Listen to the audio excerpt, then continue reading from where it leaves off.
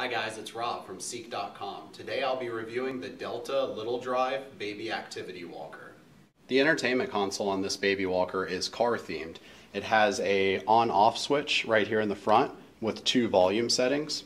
It has a few non-electronic toys such as this ball here that spins around, the steering wheel that clicks as it spins around, a horn that squeaks,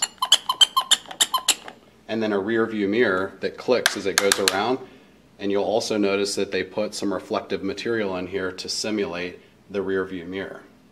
There's also a few electronic toys on this baby walker. The gear shifter over here.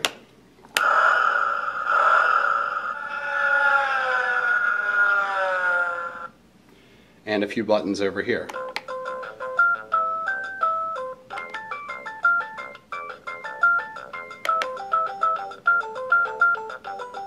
And you'll also notice that as the sounds play, there's two red lights that light up here on the front.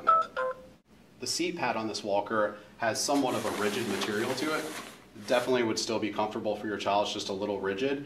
And it has a ton of padding though back here uh, for the actual seat back. This entire pad is removable and washable. One cool little detail that they implemented into this walker is that these wheels here on the side actually do spin around. So a lot of times if you see a wheel like that on a baby walker, it would be fixed uh, and just for looks, but these actually do spin around, which is kind of cool. This walker is height adjustable and folds completely flat.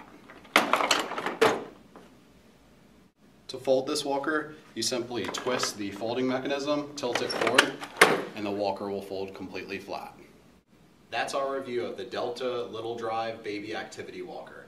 Make sure to click the link below for a full review of this product on our website and make sure to subscribe to our YouTube channel for more reviews just like this one.